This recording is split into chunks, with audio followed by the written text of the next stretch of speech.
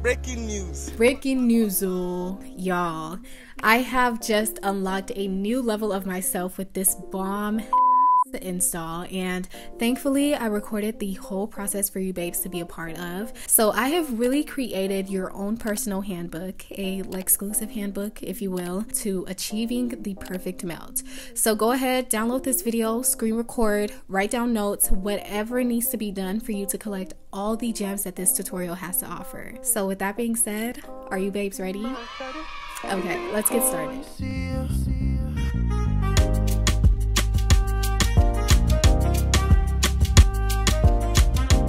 Today's video is all about getting you, getting us the perfect melt. I really just accepted and love the fact that my channel is like a one-stop beauty shop. Like, you know, if you want a wig tutorial, writing tutorials, makeup tutorials, anything. And today I'm adding yet another wig tutorial to the mix. To get started, we're working with some hair from Wiggins Hair Company. I've worked with their hair before and you guys have seen it so many times and in so many pictures and videos like this one, this one again, this one, this one. Like at this point, y'all get the gist. But I picked their hair in particular particular because it's so easy to work with the way their cap is customized, especially if you want like a super flat look. I wear a small in their cap because I just really love that flat look and it still fits very snug as well. Also, their hairline doesn't have like the super protruded widow's peak hairline, so I don't have to like take out hair in the front like you guys have been seeing me do a lot of lately. And you know, that comes in clutch for a lot of people with widow's peaks, but I don't have one, so I don't need that. So, you know. But the hair I'm working with is their straight 13 by 6 HD lace frontal wig in 200% density and it is in 24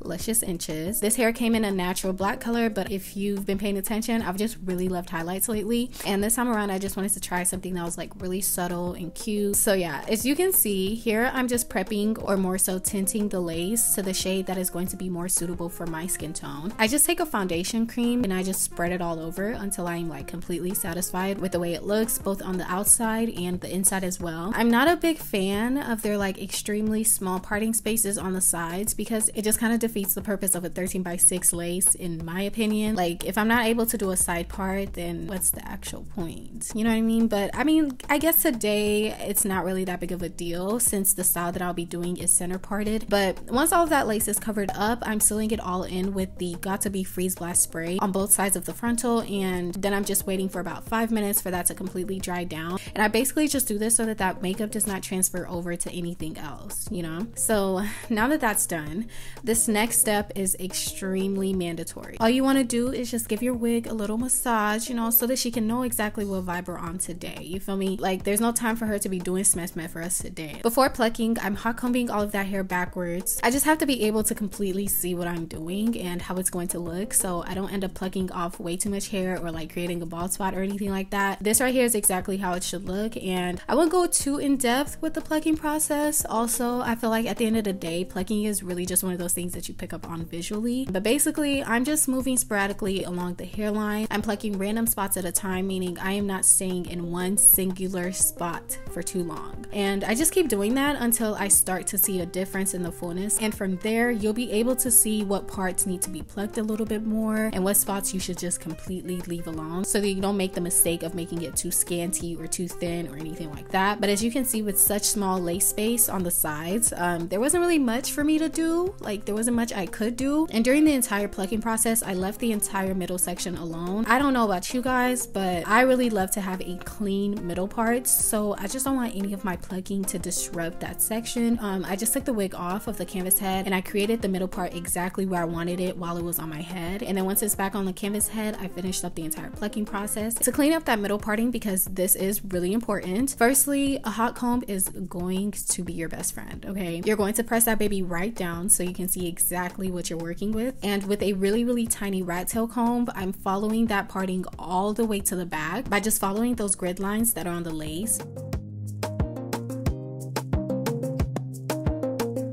With my tweezers, once I've cleaned up that parting, I'm plucking that same grid line all the way to the back. And as you can see, I chose the 13 by 6 for a reason because for this style, I feel like the look of a sleek middle part on a 13 by 6 or even a 6 by 6 closure is just just kissable. Okay. But just go ahead and finalize and clean that up with a hot comb and just look at how gorgeous that baby is. I couldn't wait to see it straighten, so that's exactly what we're going to get into. To start, I'm coating the hair in some serum that will make your hair obey your every command when it comes to styling. You know, it'll just add some sheen, some flow, some sleekness, and hopefully help with those flyaways. Basically, all the things I'm looking for when I'm going for a silky straight hair look. And I started trying out this Chi Silk Serum, but honestly, I would recommend the Bio Silk Serum over this one. I'm just waiting for this to finish to go ahead and buy that one. But the flat iron I'm using is like the Conair InfinitiPro Rainbow Girl something. It'll be down below for you guys to check out. And I'm just making sure that I'm using the chasing method with a rat tail comb to fully achieve that bone straight look that we're going for. The highlights were looking so good, just exactly the way I wanted it. Basically subtle, like it's there, but it's not shouting at your face type of highlights, you know what I mean? But now that I've walked you through the entire prepping stage, I can finally show you guys the install process.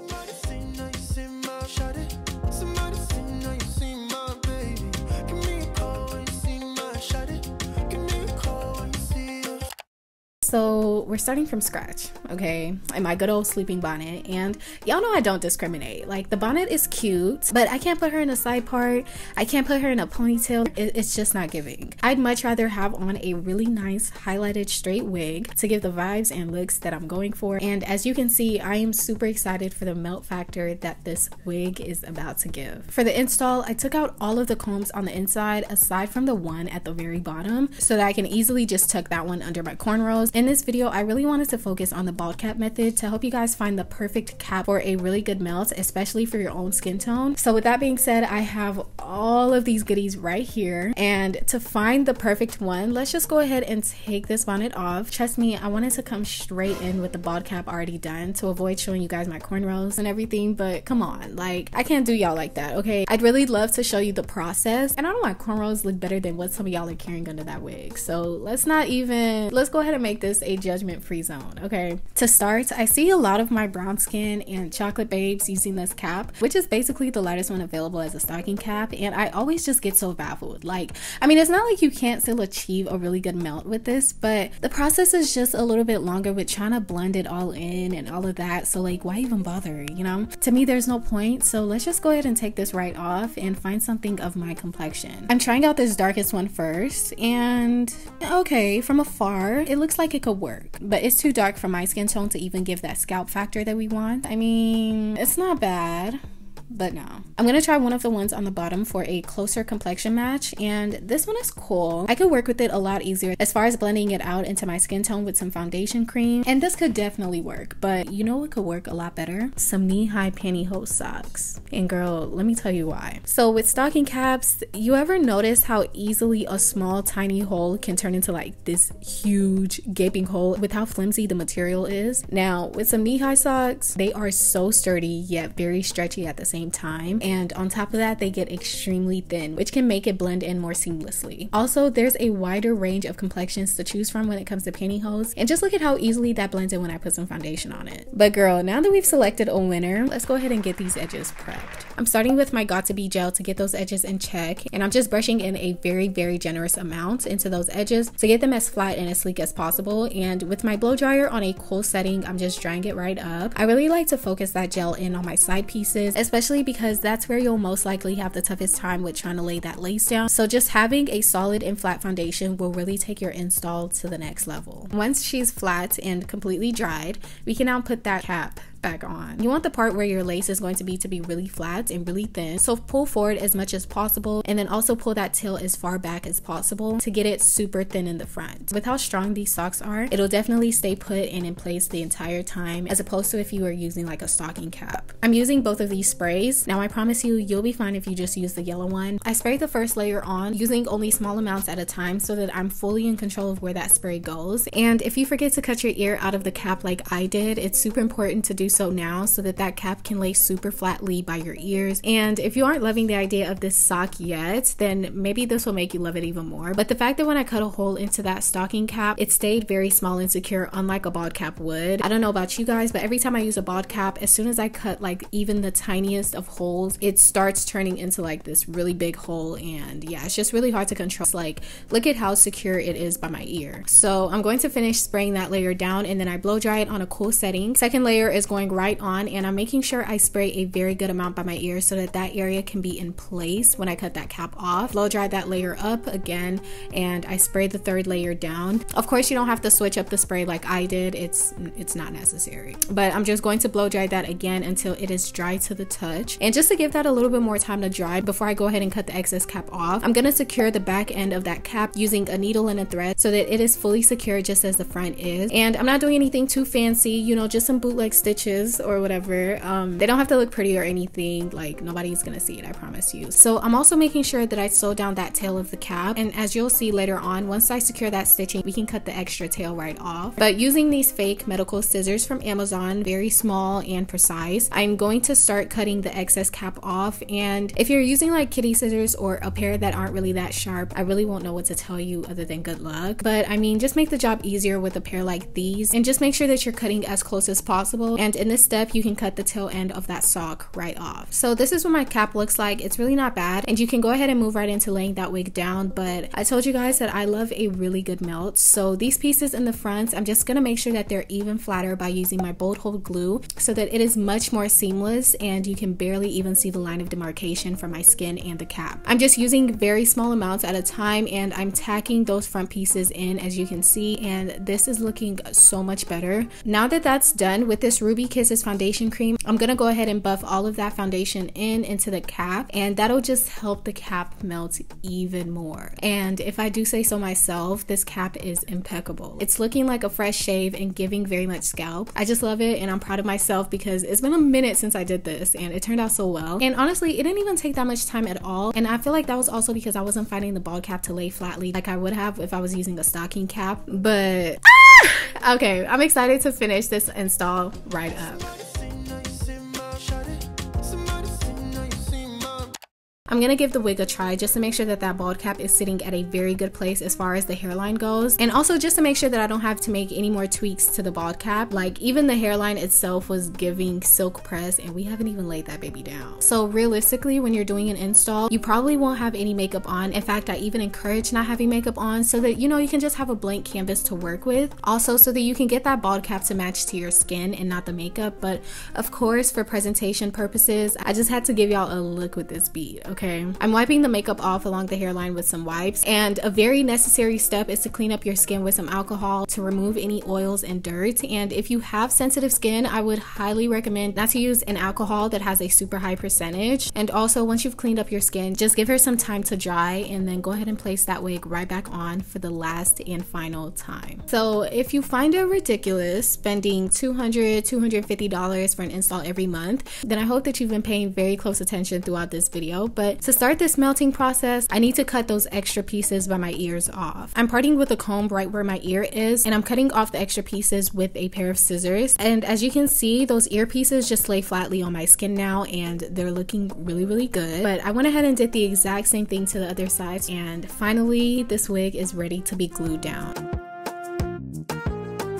This foundation cream again, I promise y'all she's been coming in so clutch the entire video, but I'm going in with a tiny mix of both shades, but more of the one that is close to my skin color and I'm just making small little dots along the hairline. So I like to map it out with a shade that is super close to my skin color so that it can easily blend in or blend off. I did mix it with the other shades so that it's still a little bit visible so that I can see exactly where it's at. I really hope that makes sense. But, and I don't make a whole outline of the frontal or anything like that because I just find that a bit excessive. Um, I just more so focus like on the dip and turns of the frontal and I promise as long as it looks like this, you're going to be perfectly fine. I'm going in using my Erica J lace glue for this install process and I'm using the bottom end of my brow razor to apply that glue on. It just works perfectly fine for me. I'm going to be applying three layers in total and waiting in between for each layer to dry completely clear until we proceed with the next. Basically like this. And that was layer one.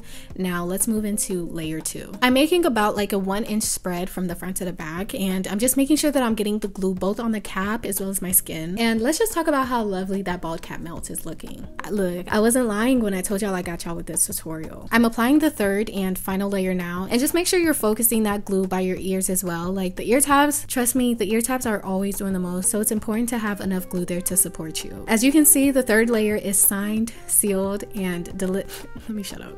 But you can now finally slide that frontal forward and place it down strategically. Emphasis on strategically. Just make sure that you're not placing it behind the glue because trust me, it's not a good look. I did that on this side and I think it's because I was filming with a really small mirror. If I was to have done this in my bathroom, I definitely would have caught onto it a lot sooner and fixed it before I combed that lace in. But you know, it's okay, no biggie. We can't be perfect all the time, you know? Just make sure you don't make the same mistake I did and just be sure to bring that hairline all the way forward. I definitely did a lot better on this side side. And when I was done with combing it all in using a comb, I'm going to take my elastic band and just tie that down, focusing the elastic band right on the hairline where the glue is. I kept that elastic band on for about 10 minutes, you know, pretended to chill on my phone for some visual representation. And once that 10 minutes was up, or maybe even longer, you know, just as soon as you hear that first heartbeat in your brain, I promise that's like the indication to take that elastic band off because I really don't be keeping track of the time. But once it's ready, it's time to take that band off and start cutting the excess lace off. So I'm using the brow razor to cut off the lace and you can see a little bit better what I was talking about with my mess up. Like, trust me, it's, it's just not a cute look. Like, it's not a cute look at all. But in person, it looked so much better, trust me. Once all of that extra lace is off, it's not looking too bad, okay? To further blend all of that lace in, just take your foundation and buff that into the lace. And please make sure that your foundation is the correct match, okay? Don't, don't mess yourself up. Not too much of the foundation so it doesn't congest the lace. You definitely want to add a little bit more than I did. At this point, I was just in a rush because the sun was getting ready to set. But look at the blend though, like silk press vibes with the no edges look. Like it's giving very much scalp no filter. And you guys know that I typically love a really good baby hairs moment, but this had me second guessing. I don't know, like with how much I was loving this no edges look, I don't know. Like I really don't know. I debated for so long again and again trying to figure out if I wanted to do baby hairs or leave it alone. Really didn't know what I wanted to do. But again, with the sun getting ready to set, I just decided to leave it as is.